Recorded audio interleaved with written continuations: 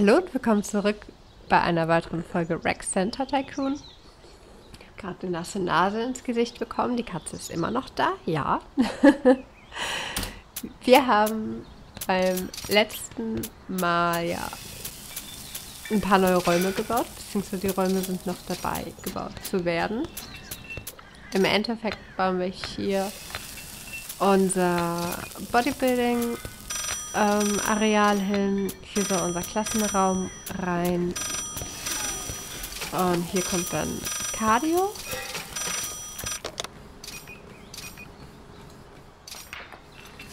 Okay, das ist doof, wenn wir das so machen. Ähm ja, ich finde das wirklich schade, dass wir keine Events gleichzeitig haben können.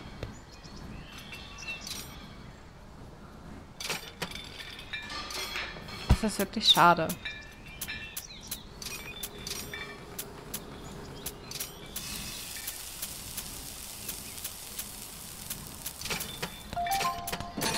Oh. Naja.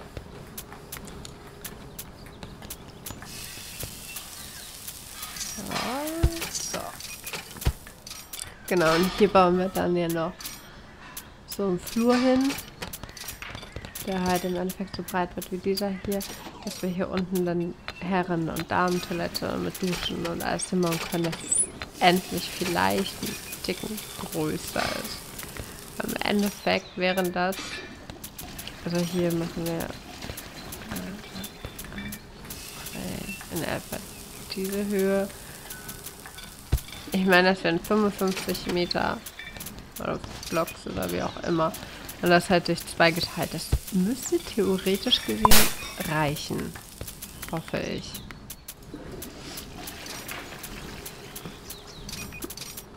Äh, sonst wäre es echt doof, wenn die dann immer noch meckern von wegen, es gibt nicht genug Duschen.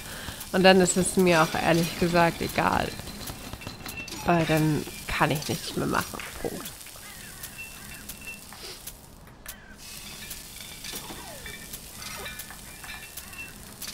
So, es ist ja cool, wenn sich darum jemand kümmern würde. Um den Stromausfall. Ich meine, trainieren hier im Dunkeln.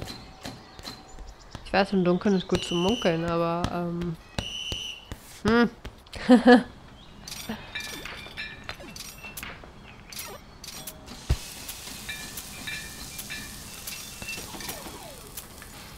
ah, egal.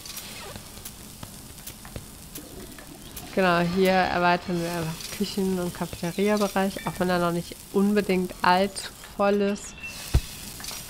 Ähm, ist das, denke ich mal, doch schon eine ganz gute Idee, wenn wir den schon mal voll selber erweitern. Es kann ja sein, dass später irgendwann jemand doch, keine Ahnung, 200 Leute gleichzeitig da sind, wenn wir halt mehr Platz haben. Ähm, und dann auf einmal alle Hunger kriegen. Irgendwie so. Man weiß es nicht. Man, möchte ja auch auf alles Mögliche vorbereitet sein.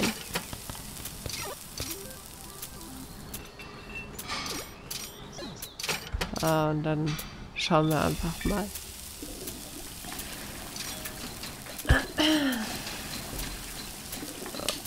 Mein Hals kratzt ein bisschen.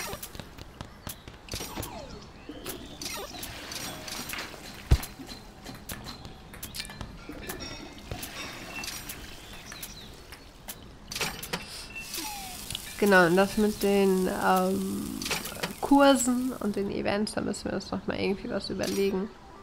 Oder vielleicht arbeitet der Entwickler da auch gerade dran, dass man beides gleichzeitig machen kann. Was ich persönlich cool finden würde. Und ich weiß eben halt auch, dass andere das sich auch wünschen. Aber ja,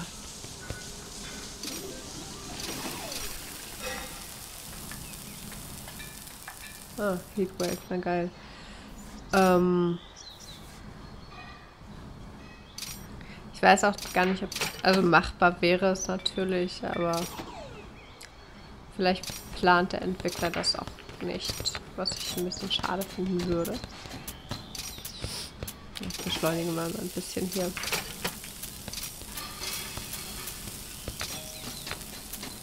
Hm. Da auf jeden Fall arbeitet er noch sehr viel daran, verbessert vieles, verändert so einiges, was ich sehr gut finde. Ähm, danke, ich habe wieder Licht. ähm, ja, lassen wir uns einfach mal überraschen, was er noch so plant und vorhat. Und ich wette, das ist jetzt wieder ein Event, das wir so oder so nicht annehmen können. Oh, doch, cool. Wann? Ha. Ja, das Problem ist natürlich auch, wenn wir unsere Kurse erst einen Tag vorher oder so ankündigen, dann meldet sich ja keiner da wirklich für an. Und dann machen wir ja Verluste, was nicht cool ist. Ich will keine Verluste machen. Aber du kannst mal eben ein bisschen Catering machen, dass wir noch sechsmal essen.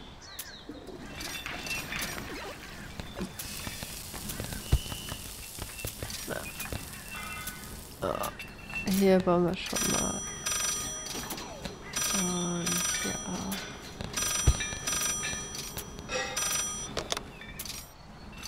Ja. Deswegen, das ist doof, dadurch geht jetzt halt echt viel Geld durch den Lappen. Was wir sonst auch machen können, ich meine, hier in den Abendstunden haben wir sowieso niemanden, dass wir sonst da unten ein bisschen Aerobics mit anbieten. Es geht halt nur für zwei Stunden immer, das ist ein bisschen doof. Dass wir dann einfach Aerobics und Boxen abwechselnd machen. Und dann hier in der Mitte das Freiheiten für eventuelle Events, die eventuell oder eventuell auch nicht stattfinden. Ähm, ja.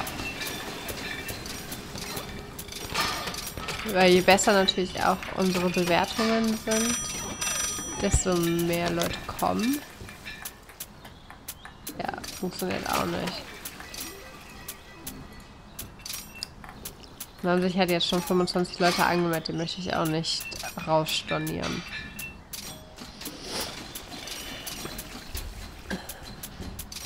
Also Yoga mache ich auf jeden Fall jeden Morgen, weil Yoga bringt wirklich viel Geld. Im Endeffekt bringt Yoga für vier Stunden. Also 1700, den muss ich jeden Tag anbieten. Ja, nicht, ähm, nicht... Oh mein Gott, meine Geräte sind kaputt. Geil. Kann ich ihn da wegnehmen? Ja, perfekt. Ja, ja, kriegst eine Gehaltserhöhung. Ach Gott, bin ich langsam.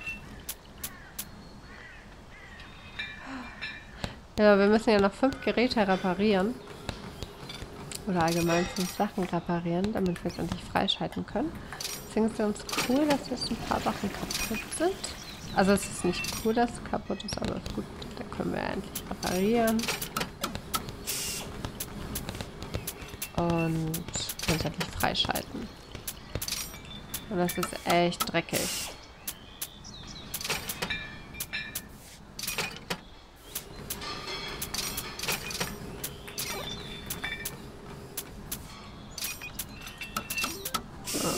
Nächste Gerät kaputt.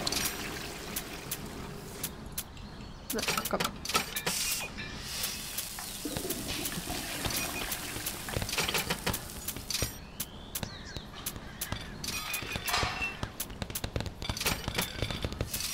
ich repariere jetzt einfach erstmal alles wieder. Oder auch nicht, weil das Telefon wieder klingelt. Wird auch nicht gehen. Das ist doof, das ist wirklich doof.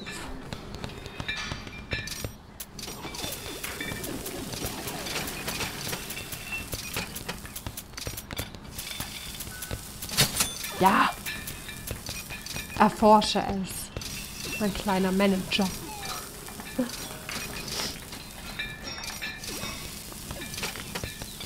können auch langsam was essen. Wenn die Folge vorbei ist, esse ich erstmal was.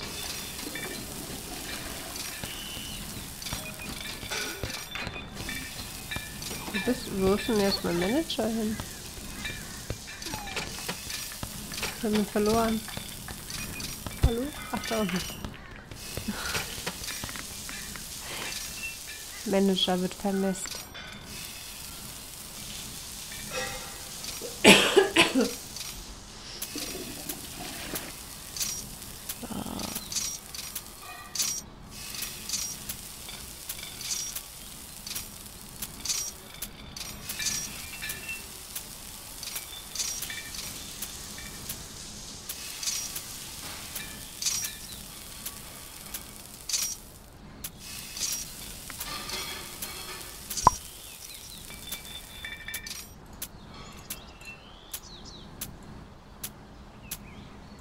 Das kann ich ja einmal komplett durchziehen.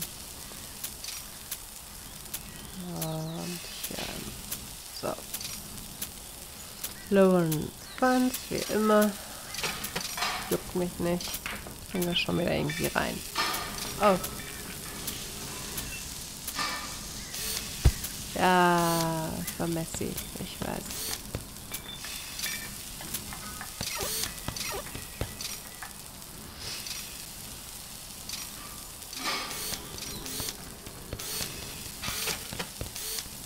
Also wie gesagt, jetzt heute eigentlich auch wieder nur eine reine Umbauphase. Umbaufolge, besser gesagt. Ähm aber vielleicht wird es dadurch besser, dass wir endlich mal vier volle Sterne kriegen. Ja, und immerhin, wir waren ja schon auf dreieinhalb, aber ja, dreieinhalb ist halt, da sind halt nur dreieinhalb Sterne. Ich möchte hoch hinaus.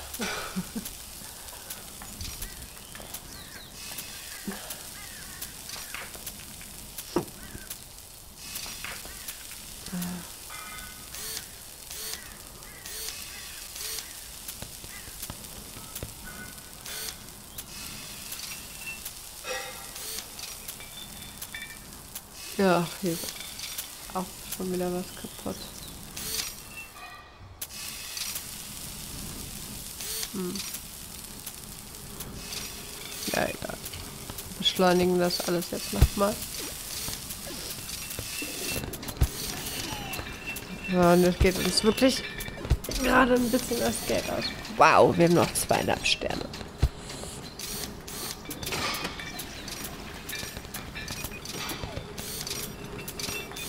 Aber mit dem Yoga-Kurs sind die alle echt zufrieden. Also, du halt nicht, aber du bist eine Ausnahme.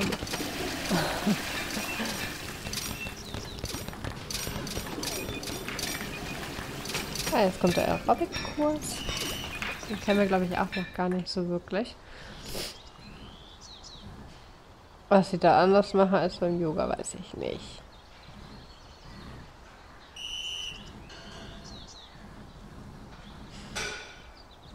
Auf jeden Fall sieht das immer süß aus.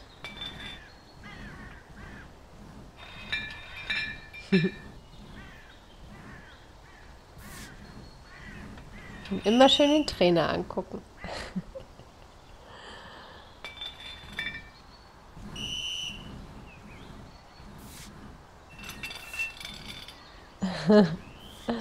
ich find's süß. So, nochmal einfach beschleunigen hier.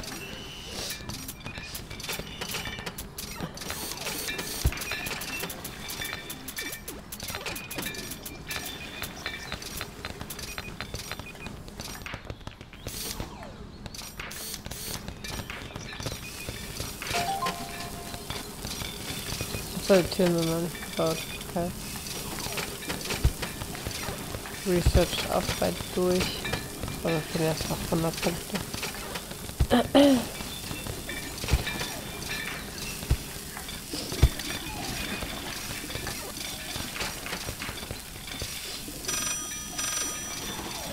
So. Ach so. Bart, rote Haare und schwarze Kleidung.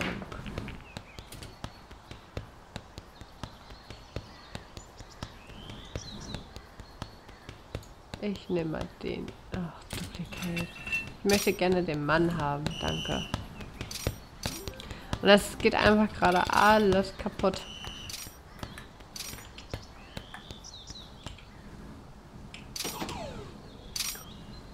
Cool, wir können uns porten.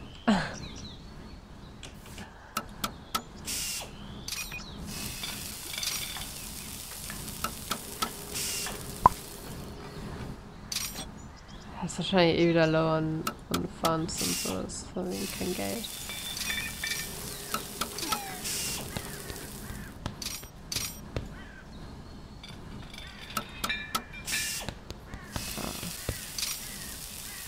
Wenn uns jetzt keiner stört, würde ich gerne wirklich alles reparieren.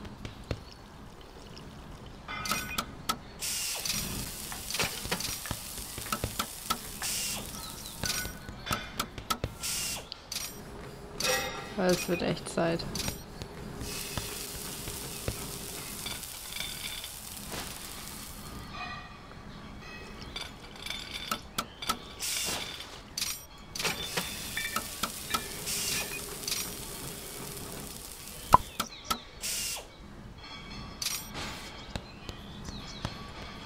Zwei Nachrichten? Ach so. Ja gut.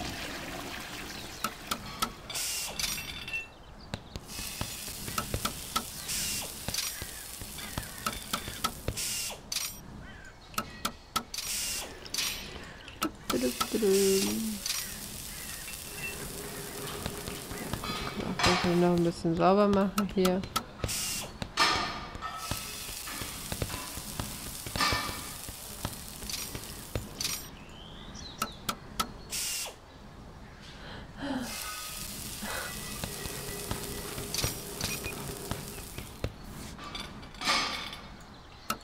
Das macht ja keiner. Ich habe extra Leute eingestellt, die das sauber halten. Oder ist ja keiner sauber. Da habe ich auch zu wenig.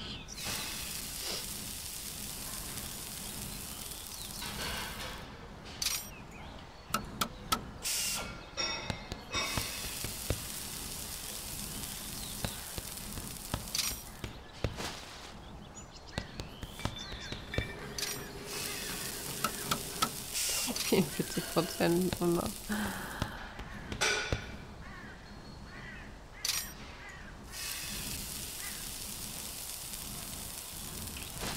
Steht so weit weg. Lässt ja Kraft drüber. Okay.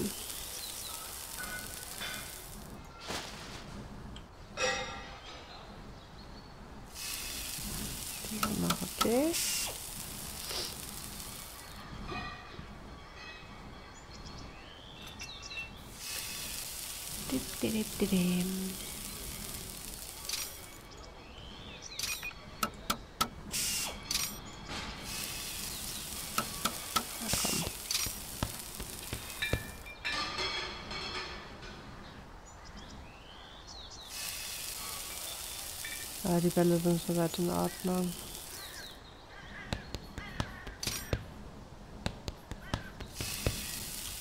Dreck.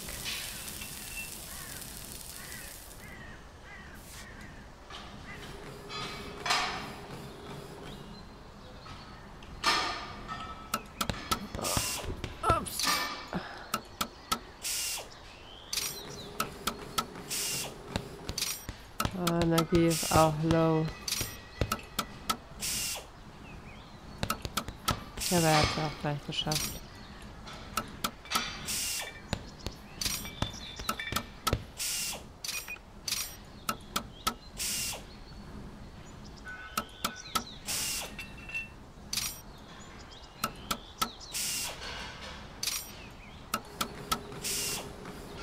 Es wird auf jeden Fall alles sehr gut benutzt und wurde schon lange nicht mehr repariert. Das steht fest. Yay, ein Stromausfall.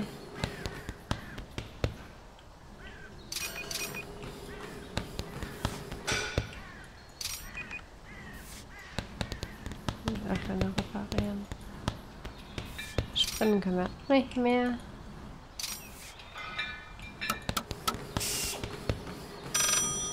Ah. Wieso?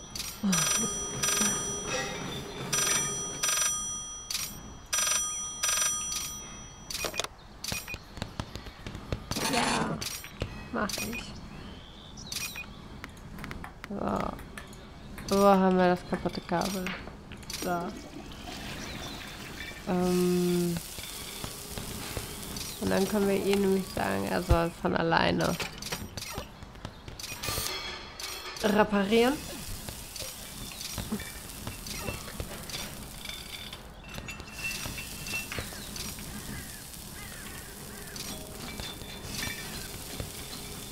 Ja. Neuer Tag, neuer Kurs. Ach, guck mal. Jetzt machen die doch so spät noch Partys. Das ist uncool. Wir machen einmal davor einen Boxkurs. Nee, ist auch nicht. Machen wir für vier Stunden.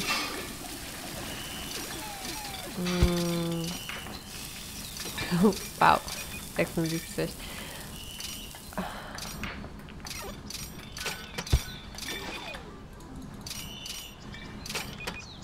Ja, machen wir einfach so. Egal. Wie gesagt, wenn wir halt einen größeren Bereich haben, dass mehr Leute endlich Besuch, also die Kurse besuchen können, kriegen wir auch mehr Geld rein.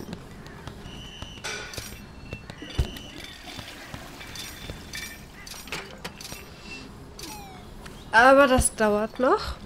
Und das werden wir auf jeden Fall nicht in dieser Folge miterleben. Vielleicht, eventuell in der nächsten. Ähm, somit würde ich die Folge erstmal hier auch beenden. Vielen Dank fürs Zuschauen. Ich hoffe, es hat euch dennoch gefallen und dass wir uns bei der nächsten Folge wiedersehen. Und falls ihr keine weiteren Folgen von mir verpassen wollt, dann aktiviert doch einfach die Glocke und abonniert meinen Kanal. Und bis dahin sage ich erstmal Tschüss.